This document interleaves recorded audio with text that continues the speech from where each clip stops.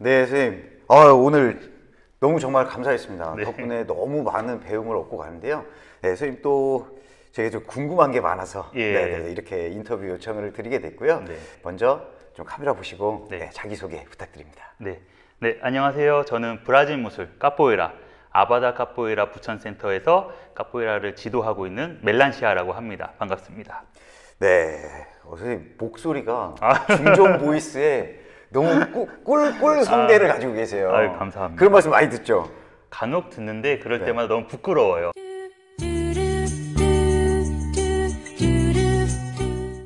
네, 선생님 그 까뽀에라라는 무술을 아는 분들은 또 많이 알고 계시는데 네. 굉장히 또 생소하게 생각하시는 분들도 많이 계실 것 같아요. 네. 좀 까뽀에라에 대한 설명 좀 부탁드리겠습니다. 네, 카포에라는 이제 16세기 경에 이제 포르투갈의 지배를 받던 식민 지배를 받던 브라질에서 이제 만들어진 무술이고요. 아프리카 흑인 노예들이 브라질로 와서 이제 수련하는 과정에서 노예의 신분이니까 수련을 할 수가 없잖아요 무술을. 그래서 춤으로 위장을 해서 시작을 했던 게 바로 카포에라입니다. 어, 춤으로 위장을 해서 네, 근데 춤으로 위장을 했다고 하기엔 너무 강력해 보여요. 그 중국 얘기가 장난이 너무 심한 거 아니오? 네, 아, 정말 그 보는 내내 너무 놀랍고 예. 정말 깜짝 놀랐습니다. 이게 또 영상으로만 보는 거하고 네. 실제로 확실히 눈앞에서 보는 거하고 그 중압감이 너무 다른 것 같아요. 아, 정말 너무 오늘 귀중한 시간이었습니다. 어, 선생님, 그러면 선생님은 네. 이 카포에라를 언제부터 수련을 하신 거예요? 기억나는 게 2003년 5월부터 이제 배우기 시작을 했어요. 네. 그래서 원래는 한 달만 한두 달만 해야지 라고 시작을 했던 게 벌써 이제 19년째 하고 있습니다. 아, 그럼 이제 어떤 계기로 카포에라를 해야겠다라고 생각을 하셨던 거예요? 어, 저는 그 전에 원래 태권도를 하고 있었었는데 음. 친구랑 우연치 않게 이제 오락실에 갔다가 철권이라는 아, 게임을 하고 철권. 네. 그래서 에디라는 그 카포에라는 캐릭터를 보고 Final round. Fight.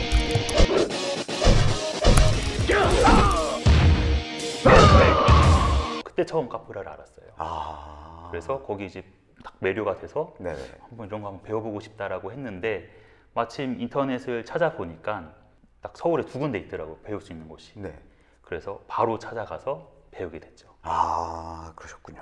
자, 선생님, 그러면 그 이제 2003년도부터 네 예, 배우기 시작하셨고, 네. 그러면 지도자로 활동하신 건 언제부터 지도자로 본격적으로 활동을 하신 거예요? 음, 제가 2012년도에 이제 지도자가 되려고 브라질에 유학을 갔다 오고 나서 2013년부터 이제 지도자 생활을 했습니다 아, 그럼 브라질에 직접 가셔서 또 그 배우시고 오신 거예요? 예, 예. 브라질에는 얼- 어느 정도 계셨던 거예요? 이제 비자 문제 때문에 오래 있을 수는 없고 이제 6개월 처음에 어. 갔을 땐 6개월 네. 그 다음부터는 뭐 1년이나 2년에 한 번씩 계속 브라질 왔다 갔다 하면서 카포에라를 수련하고 있습니다. 네, 그럼 이제 본토에서 계속 이걸 하시면서 예, 아, 무술 유학, 네, 유학생이시군요.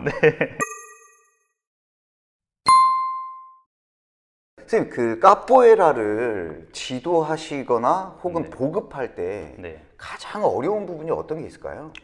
가장 크게 두 가지가 있었는데 첫 번째는 이제 사람들의 인식, 인식이 일단 카포에라가 좀 화려한 부분이 많다 보니까 사람들이 저거 보고를 보고 어 저거는 내가 할 수 없는 거 벌써 딱 이렇게 마음의 벽이 생기더라고요. 그래서 그게 가장 첫 번째 힘들었고 두 번째는 이제 여러 미디어에서 카포에라를 희화하는 부분이 있어서 막 웃기게 따라하고 그런 부분 때문에 또 어떤 분들은 카포에라를 되게, 우스운 거, 웃긴 거 이렇게 아시는 분들이 많아서 그게 조금 어려운 부분이 지금도 있습니다. 지금 말씀하신 부분들이 정확하게 또 태권도 같은 문제를 가지고 있거든요. 음, 네. 뭐 이제 그 태권의 품밟기라는 움직임 네. 그리고 이제 태권의 기압 이런 네. 것들이 좀 어, 오랫동안. 좀 그 코미디의 소재로 희화된 소재로 오래 쓰다 보니까 여전히 이제 저도 태권을 하다 보면 어 태권 하면 뭐 에이크 에이크 웃긴 거 이제 요런 이미지들이 있더라고요. 음. 맞아요. 그래서 이제 그 이미지들을 개선시키기 위해서 굉장히 많이 이렇게 노력을 하고 있는데 제가 봤을 때 선생님의 그동안의 활동의 족적들이 음. 예, 정말 그 카포에라에 대한 인식을 변화시키는데 많은 예, 공헌을 했다는데 네. 예, 했다고 생각이 듭니다. 아, 그렇게 알아봐 주시면 너무 감사합니다. 어 아닙니다. 저뭐 당연히 우리 동네 무술체육관 시즌 2 생각할 때 카포에라를 꼭 하고 싶다. 그리고 제일 먼저 생각나는 게 선생님이었거든요. 아, 네. 그 부분은 뭐 입에 발린 말이 아니라 네. 정말 많은 공헌을 했다고 네. 제가 말씀드리고 싶어요. 그래서 그런 부분에 있어서 태권하고 굉장히 동질감을 느껴지는 맞습니다. 부분이 있습니다. 네네. 자 선생님 그러면 이제 이 카포에라를 하면서 네. 뭐랄까 가장 좀 자부심을 느꼈던 순간은 또 언제였을까요? 일단 한국에는 카포에라가 많이 없잖아요. 스스로 이제 그래도 한국에서 카포에라를 한다 하면은 그래도 다섯 손가락 안에 드는 사람이다라고 이제 생각을 할 수 있어서 그게 좀 자부심이지 않을까. 이제 어떤 분들이 간혹 어, 선생님은 이제 카포에라를 하시는데 혹시 취미가 뭐세요?라고 물어봐요. 그러면은 제 취미가 카포에라입니다. 특기도 카포에라고 직업도 카포에라입니다.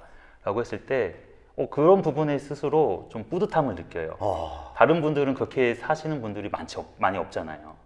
그래서 그런 부분에 있어서 아 카포에라를 잘 하- 하길 잘했다 이런 생각이 간혹 듭니다. 네. 선생님 그러면 행복하신 삶을 살고 계신 거죠? 네, 저도 좀 비슷한 부분이 있는데 네, 보통 이제 그 사회에서 얘기를 할 때 네가 좋아하는 것과 잘하는 것은 다르다. 음, 그렇죠. 예, 이런 얘기들을 많이 하잖아요. 네가 좋아한다고 해서 그거를 할 수 있진 않다. 그러니까 직업은 네가 앞으로 꾸준히 예, 지- 그 꾸준히 할 수 있는 걸 선택을 해라. 하지만 네가 좋아하고 잘한다고 해서 그걸로 직업을 선택하면 너 굉장히 곤란한 일이 생길 수도 있다라고 얘기들도 하잖아요. 네, 근데 선생님은 좋아하는 거, 직업, 특기. 정말 그 본인이 원하는 삶을 살고 계신다는 게 네. 너무 정말 그 신나고 행복한 네. 일인 것 같아요. 근데 네. 저그 부분 제가 그렇게 느끼거든요. 아, 네. 네네. 그래서 선생님 말씀에 굉장히 좀 와 닿습니다. 여러모로 동질감을 많이 아, 느껴요. 네. 그러면 반대로 네. 카포에라 하면서 내가 이걸 왜 했을까 싶을 정도로 혹은 그 정도는 아니지만 아 카포에라 하면서 너무 힘들었던 때가 있었을까요? 유학가 있었을 때 여- 언어가 좀 돼야 되잖아요. 어, 언어에서 부딪히는 그런 것들도 좀 힘들고 이 국내에서 갖고 있는 카포에라에 대한 이미지와는 다르게 브라질은 엄청 격해요. 음. 어, 뭐 우리야 뭐 차면 피해주고 못 피하면 적고 하지만 브라질은 그냥 후려차 버려요.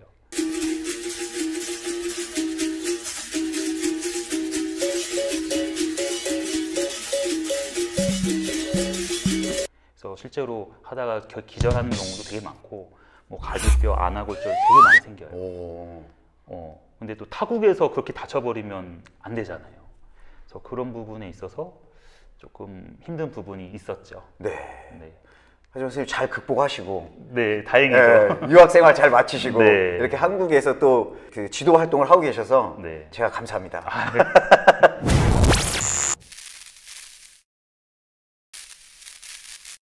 그러면 어, 카포에라는 나에게 뭐다라고 한마디로 정의를 하신다면 어떻게 정의를 하실 수 있을까요? 카포에라는 나의 행복이다.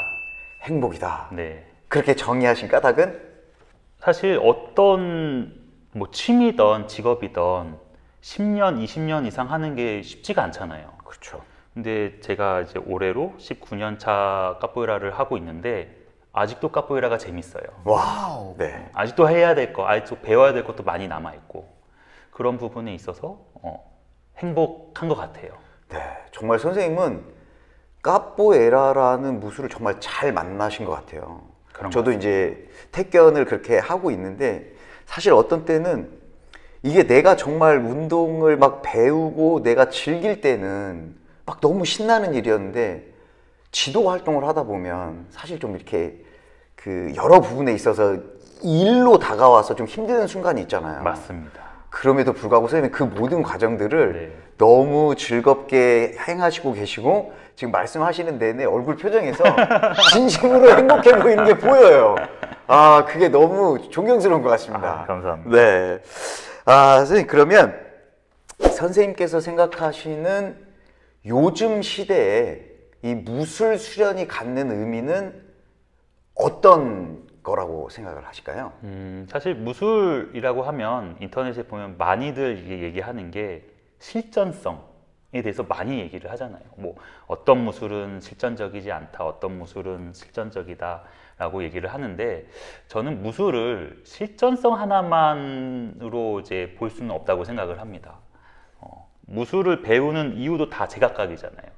물론 누구는 싸움을 잘하고 싶어서 하시는 분도 계시겠지만 어떤 분들은 운동을 하고 싶어서 어떤 분들은 재미있는 취미 생활을 하고 싶어서 하시는 분들도 있기 때문에 운- 무술이라는 거는 이제 우리 복합 스포츠 예술이다 라고 저는 생각을 해요. 네. 누구나 할 수 있는 카포에라도 누구나 할 수 있고 태권도 누구나 할 수 있고 어, 즐겁게 그래서 하나의 즐거운 스포츠 문화 예술 취미 활동이다라고 음. 저는 생각을 하고 싶습니다. 아, 네, 좋은 말씀. 감사합니다. 네, 선생님 그러면 이제 앞으로의 활동 계획에 대해서 한 말씀 부탁드립니다. 늘 똑같이 계속 카포에라에 대한 어떤 홍보 그리고 카포에라를 배우러 오시는 분들께 좋은 카포에라 잘 지도하는 거 그리고 제 스스로도 발전할 수 있도록 뭐 지금은 코로나 때문에 브라질을 갈 수 없는 상황이지만 어, 계속 브라질 왔다 갔다 하면서 제 수련을 이어가는 거 어, 그런 것들을 계속 하고 싶습니다. 네, 선생님 그 유튜브 채널도 운영하시잖아요. 네. 유튜브 채널 소개 좀 부탁드립니다. 아, 네. 유튜브에 아바다 카포에라라고 검색하시면 어, 채널이 하나 나옵니다. 구독과 좋아요 부탁드릴게요. 네, 구독과 좋아요 꼭 해주십시오. 네, 선생님 그러면 마지막으로 네. 뭐더 하시고 싶은 말씀 있으시면 네. 한 말씀 부탁드리겠습니다. 네. 그 카포에라가 이제 많은 분들이 보시기에는 굉장히 어려울 것처럼 보이는데 어, 맞아요. 그 좀 중고급 올라가면 어려워지긴 합니다. 근데 초보적인 기초적인 동작들은 생각보다 여러분들이 생각하는 것보다는 그래도 좀 쉬워요. 그래서 누구나 처음에 시작을 할 수가 있는 좋은 무술이자 좋은 운동이자 좀 취미 활동이라고 저는 생각을 합니다. 어, 그래서 너무 어렵게만 생각하지 마시고 카포에라를 한번 경험해 보시면 좋을 것 같아요. 그런 의미에서 뭐 카포에라도 태권도 좋은 운동이니까 어, 좀 많이들 배워봤으면 좋겠습니다. 네, 오늘 저희가 경험을 해보니까요. 정말 그 어떤 그 이미지 속에서 딱 각인된 이미지들만 생각을 하지 않으셔도 될 것 같아요. 정말 체력적으로도 전체적인 신체 발달에도 너무 좋은 운동인 것 같아요. 그래서 정말 카포에라 다시 한번 강추드립니다. 네. 선생님 오늘 귀한 시간 내주셔서 감사하고요. 네. 다음 기회에 또 한번 제가 찾아뵙도록 하겠습니다. 네. 오늘 너무 감사했습니다. 아, 네. 감사합니다.